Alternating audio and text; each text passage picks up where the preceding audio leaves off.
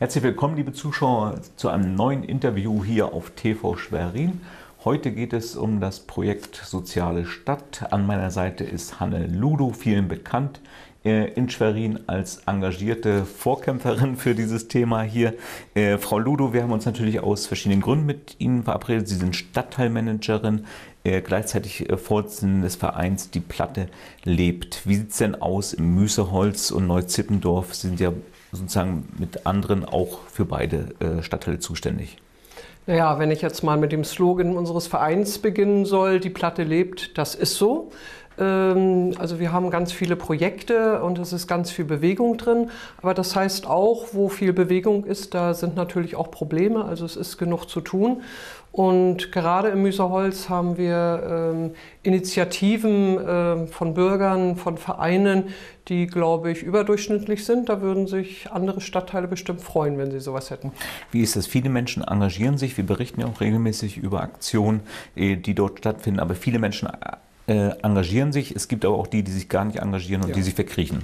Ja, natürlich. Und die gibt es natürlich gerade auch in der sozialen Stadt, denn bei uns ist ja der Anteil der Menschen, die von Langzeitarbeitslosigkeit betroffen sind, die Hartz-IV-Leistungen in Anspruch nehmen müssen, die resigniert haben, die sich zurückgezogen haben.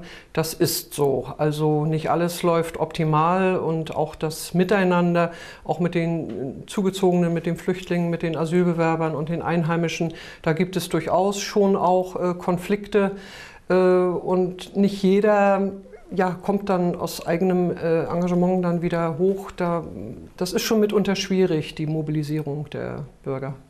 Wir sprechen jetzt über verschiedene Projekte, liebe Zuschauer, und vielleicht gibt es da auch Angebote für den einen oder anderen, äh, der sich verkrochen hat, wieder rauszukommen und aktiv zu werden.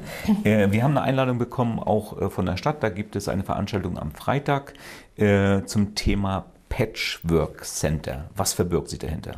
Ja, das Patchwork Center ist eine Initiative der Freien Evangelischen Gemeinde und da entsteht aus der ehemaligen Post zwischen Kepler Passage und Ärztehaus eine Begegnungsstätte vom Feinsten äh, mit einem Café, mit Kulturtreff, äh, aber auch äh, kreative Angebote werden unterbreitet. Äh, da zum Projekt gehört auch eine Band, die Kepler Open Air Band, die äh, einmal im Monat bisher schon immer auch auf dem Keplerplatz beim Kepler Open Air aufgetreten ist. Das wird ein Treff für Alt und Jung. Die Kindertafel soll dort auch mit einziehen. Da gibt es noch ein paar Fragezeichen, aber äh, ist auch geplant. Und äh, es ist noch nicht alles fertig, aber der erste Teil, dass man also künftig auch schon das Café nutzen kann. Also ich bin sehr gespannt. Äh, ich war jetzt ein paar Tage nicht mehr dort. Äh, das wird bestimmt ein gutes Angebot für die Bewohner im Müsserholz. Nach diesem harten, beständigen Winter, der sich ja bis über das Osterfest hingezogen hat, äh, ist ja jetzt wieder Hoffnung. Das Grün draußen und so weiter. Äh, der Plattenpark ist da auch ein äh, wichtiges Thema, wo sich Menschen dann auch im Freien betätigen können, mithelfen können, wo Jugendliche mit eingebunden sind. das Projekt existiert nach wie vor und lebt, da finden Aktionen statt. Ja, natürlich. Gerade in der vergangenen Woche hatten wir einen Hochkampftag. Ähm, da haben wir mit 21 Jugendlichen, die beim Internationalen Bund ihr freiwilliges soziales Jahr machen, haben wir Platten gestaltet. Wir haben ja elf zusätzliche Platten, die beim Abriss gewonnen wurden, dort äh, aufgestellt. Davon hat ja Schwerin TV, darüber hat ja Schwerin TV auch ähm, berichtet. Und die werden jetzt gestaltet. Also sechs der Platten sind schon gestaltet, zusammen mit dem Graffiti-Künstler Martin Drews. Und parallel dazu wurden Bäume gepflanzt äh, zu einem Baumdom. Also die äh, Rubenien dort, die wurden im Kreis gepflanzt und sollen dann mit den Kronen zusammenwachsen. Äh, also dort passiert ganz viel und die nächste Aktion, dass also weitere Platten gestaltet werden, wird am 5. Mai sein, am Tag der Städtebauförderung. Ähm, da ist sowieso eine Menge los im Plattenpark und im Bildungs- und Bürgerzentrum, äh, das ja an dem Tag auch die Türen weit öffnet. Also ja, jetzt gerade im Frühling jede Menge los und da können wir natürlich auch noch äh, viele Helfer gebrauchen. Ich kann mich aber auch als Gärtner betätigen im Plattenpark ja. durchaus. Äh, könnte auch ein kleines Beet anlegen, vielleicht Radieschen ja, züchten oder irgendwas? Ja, wir haben da Hochbeete so auf der Höhe der Kindertafel. Äh, ja, da kann man sich auch beteiligen. Wir haben ja auch äh, Bürgergärten. Wir haben den äh, Blattgarten in der Ziolkowski-Straße. Dann gibt es noch den Sonnenuhrgarten hinter der russisch-orthodoxen Kirche. Also das sind ja auch Besonderheiten im Müserholz Holz und äh, so bequem hat es manch einer nicht, äh, dass er seinen Garten vor der eigenen Haustür hat. Ja, dann gibt es ähm, die Halle am Familienpark. Mhm. Und da hat sich äh, ein Verein sozusagen niedergelassen, Together, das ist der Nachfolgeverein von Power for Kids, wenn man so mhm. will. Äh, da gab es ja, wie gesagt, mächtig äh, Aufruhr in den mhm. letzten äh, Jahren, ja auch nachvollziehbarerweise. Aber trotzdem gibt es natürlich dort einen Verein mit Strukturen, äh, die arbeiten möchten und die gute Arbeit auch geleistet haben und weiterhin natürlich aktiv sein wollen im Stadtteil. Ähm, wie sieht es mit diesem Verein aus in der Arbeit? Sie sind ja im Beirat mit aktiv. Ja, also ähm, der Verein bereitet gerade einen Tag der offenen Tür auch vor für den 26. Mai. Äh, um dort den Bewohnern und auch den Politikern, die äh, ja seit dieser Geschichte mit äh, Power for Kids, mit dem äh, Missbrauch, einen ziemlichen Bogen äh, um den Verein machen, äh, um mit ihnen ins Gespräch zu kommen, um ihnen zu zeigen, was aus dieser Halle dort geworden ist. Der Verein ist ja damals komplett umgezogen, ähm, hat diese Halle gekauft, die ehemalige Boxhalle, und hat sie mit großem ehrenamtlichen Engagement äh, umgebaut, selbst finanziert finanziert, alles in Eigeninitiative. Das dauert dann natürlich länger, als wenn man Fördermittel bekommt oder andere Unterstützung. Und wir haben dort auch schon Veranstaltungen durchgeführt. Wir haben das interkulturelle Weihnachtsfest im Dezember 2017 ähm, schon veranstaltet. Äh, man kann diese Halle mieten. Viele Bewohner fragen ja immer nach, wo sie private Veranstaltungen durchführen können, feiern. Ich weiß das ja auch vom Eiskristall und da müssen wir oft absagen. Wir haben das Ganze auch äh, zurückgefahren. Ähm, also diese Halle wird sich zu einem interkulturellen Nachbarschaftstreff entwickeln. Das ist das Ziel des Vereins. Und ich denke, das sollte man unterstützen. Ja, nach dem Vorkommnis mit dem Kindesmissbrauch bei Power for Kids wurde ja dieser Beirat ins Leben gerufen. Stellt dieser Beirat auch ein Stück weit natürlich sicher, äh, dass solche Vorkommnisse nicht wieder passieren? Das wird ja auch von der Stadt gefordert. Ja, also ähm, der Vorstand des Vereins ist im Gespräch mit der Stadt. Es geht um ein Kinderschutzkonzept, äh, obwohl der Verein in der Satzung auch festgeschrieben hat, dass er keine Kinder- und Jugendarbeit mehr machen wird. Trotzdem wird das gefordert ne, nach dieser Geschichte. Äh, man ist im Gespräch und auf einem guten Weg, denke ich. Gibt es ja von Seiten der Stadtverwaltung Zurückhaltung, dass man Angst hat, man ist ja irgendwo gebrannt oder wie auch immer äh, und ähm, müsste eigentlich ein bisschen aktiver nach vorne. Gesprächsangebote sind ja da. Ja, ja, man ist insgesamt ähm, sehr zurückhaltend und hat Sorge, dass man mit dem Verein äh, in Verbindung gebracht wird. Das kann ich teilweise auch verstehen, aber andererseits auch nicht. Äh, keiner wünscht sich, äh, dass er so etwas äh, miterleben und mitbegleiten muss, jetzt auch als äh, Verein. Das ist eine wirklich eine schwierige Aufgabe, eine riesengroße Krise, die der Verein hatte. Und wo ich immer gesagt habe, ähm, wir dürfen den Verein da jetzt nicht hängen lassen, er muss unterstützt werden. Und natürlich hätte man sich hier und da schon mehr auch Unterstützung gewünscht, aber ich sage es jetzt mal positiv, ich glaube, wir sind auf einem guten Weg. Gut, es gibt ja auch andere wunderbare äh, Projekte. Äh, BIWAG war ein großer Unterstützer. Mhm. BIWAG, das heißt äh, Bildung, Integration und Arbeit im Quartier mhm. Ähm, über die letzten Jahre. Äh, was hat BIWAG bewirkt? Ja, weil wir über den Plattenpark gesprochen haben, zum Beispiel, wir hätten den nie so weit entwickeln können ähm, bis an die Kantstraße heran, ähm, weil unser Verein Die Platte lebt nur den vorderen Teil von der Stadt äh, gemietet hat und der hintere Teil war dann eben Brachland. Und da hat also Biwak wirklich ganz, ganz viel gemacht, hat äh, die Wege erneuert, hat überhaupt erstmal für Ordnung und Sauberkeit dort gesorgt, hat uns geholfen, wo auch immer das nötig war und hat jetzt auch diese Platten, die dort ringsrum aufgestellt wurden, dorthin transporti transportiert und aufgebaut. Ähm, es gab beim Bauspielplatz, äh, es gab Holzprojekte, äh, also an verschiedenen Stellen waren Bürger eingesetzt, haben also dort eine Chance bekommen, sich sinnvoll zu betätigen.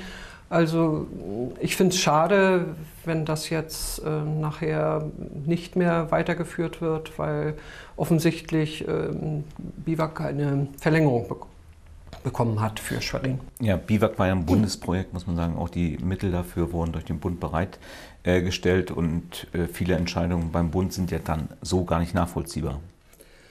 Ja, also genaue Hintergründe kenne ich da auch nicht. Vielleicht gab es auch diesmal mehr Bewerber und dass man gesagt hat, so Schwerin hat schon mal davon profitiert, diesmal nicht, keine Ahnung. Also es lag ganz bestimmt nicht daran, dass hier in Schwerin der Bedarf nicht da ist oder es keine guten Ideen gibt. Also Bilse hat da wirklich großartige Arbeit geleistet und hätte sie auch weiter geleistet.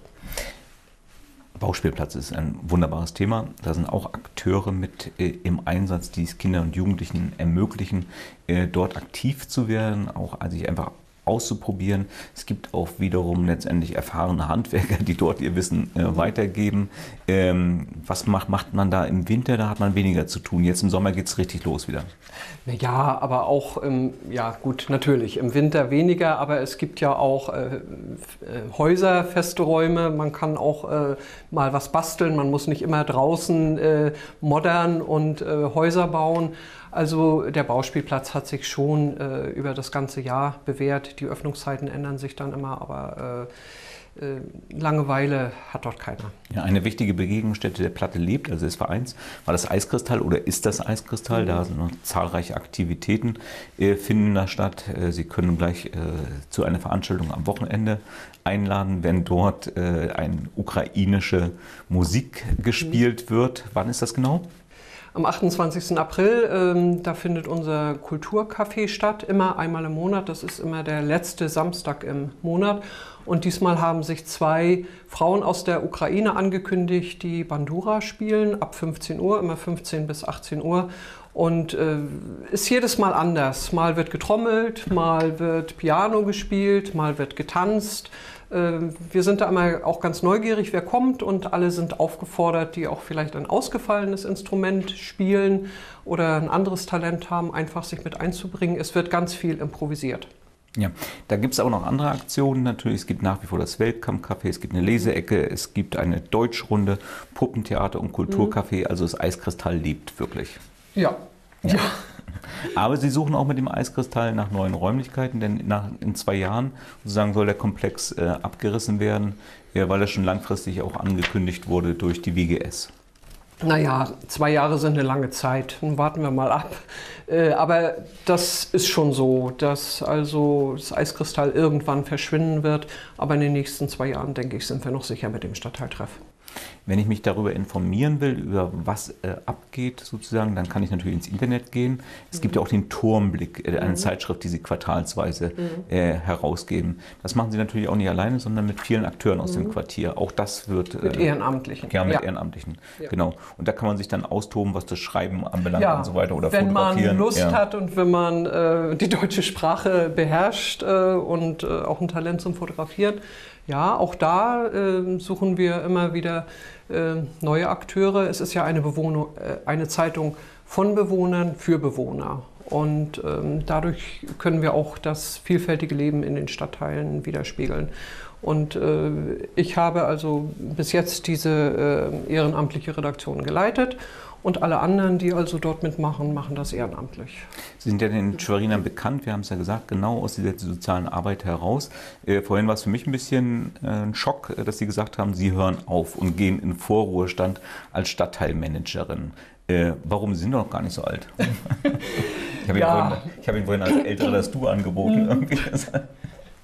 Ja, danke für das Kompliment. Ähm, ja, mit 63 kann man ja in Vorruhestand gehen und ähm, meine Kollegin Ingrid Czersinski im Stadtteilbüro Neuzippendorf äh, hatte sich das schon länger überlegt. Ich habe es mir relativ kurzfristig überlegt.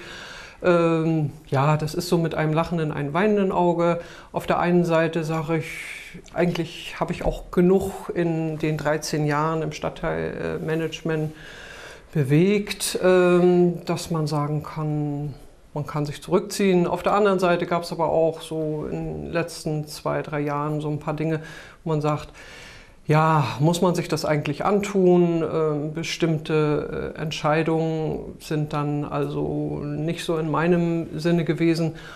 Und insofern gucke ich jetzt in die Zukunft und sage, ich werde auf jeden Fall mit dem Verein Die Platte lebt weitermachen. Und das ist dann nochmal ein anderes Arbeiten ehrenamtlich. Und ich habe eigentlich keine Sorgen, dass ich Langeweile haben werde. Was wünschen Sie sich da für die Stadt, wenn Sie auch weitermachen? Also von der Stadt, von der Stadtverwaltung, äh, was ähm, diese Wahrnehmung dieser Projekte Neuzippendorf und Müserholz zum Beispiel anbelangt? Ja, dass man sie gut im Auge hat und dass man eben auch die Vereine und Initiativen nicht vernachlässigt, die keine äh, starken Sozialverbände hinter sich haben, die keine anerkannten Träger der Jugendhilfe sind. Ähm, die, die bleiben immer so ein bisschen außen vor. Wir haben eine Diskussion angeschoben, auch äh, über Kinderschutzkonzepte, speziell für die Vereine, die eben nicht zu den anerkannten Trägern gehören. Und ähm, da muss man also wirklich äh, gucken, wie man da noch besser zusammenarbeiten kann. Wir haben ja ein paar Initiativen ins Leben gerufen, den Rundentisch Soziales zum Beispiel oder die Nachbarschaftskonferenzen im Müserholz, um hier eine bessere Vernetzung auch hinzukriegen. Äh, ja, vielleicht auch noch ein bisschen mehr mit äh, den Akteuren vor Ort äh, zusammenarbeiten, Fragen auf sie hören und ich bin ganz sicher, dass äh, gute Nachfolger gefunden werden für die beiden Stadtteilbüros. Äh, es muss dort weitergehen, das ist keine Frage. Ganz wichtig ist ja, dass Sie uns erhalten bleiben, natürlich auch uns von TV Schwerin als Ansprechpartnerin. Mhm. Wir wünschen Ihnen auch von dieser Stelle her weiterhin natürlich viel Erfolg bei Ihrer Arbeit. Dankeschön. Werden Sie natürlich auch weiterhin begleiten. Wir wollten uns auch noch bedanken für diese Zusammenarbeit und laden natürlich auch Sie, liebe Zuschauer, äh, zu den Veranstaltungen ein, die natürlich durch die Vereine vor Ort äh, organisiert werden. Wie gesagt, informieren können sich unter der eingeblendeten Internetadresse, äh, was die Vereinsarbeit anbelangt. Es gibt einen Tag der offenen Tür im Mai, es gibt Musik, es gibt verschiedenste Veranstaltungen. Wie gesagt, äh, kommen Sie raus, kommen Sie ans Licht. Der Frühling ist da. Und vielen Dank fürs Zuschauen. Ihnen vielen Dank für das Gespräch. Dankeschön. Bis zum nächsten Mal, wenn es wieder heißt Interview der Woche.